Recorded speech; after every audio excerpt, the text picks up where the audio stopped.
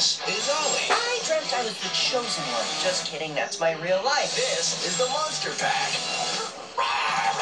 And these are the monsters.